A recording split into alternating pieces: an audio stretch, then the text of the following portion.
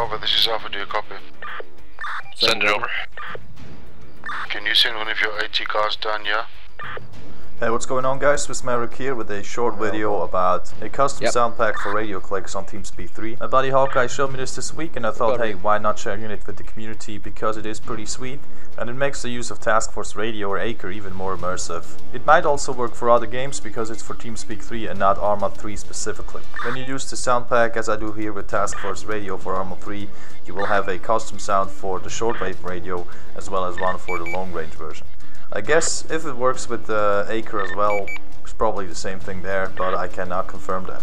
Uh, There's not much more to say except how to install it. Uh, simply use the download link from the description below. It is packed up in a 7-zip file, so you will have to use the 7-zip program or something similar to unzip it, and then you get this folder.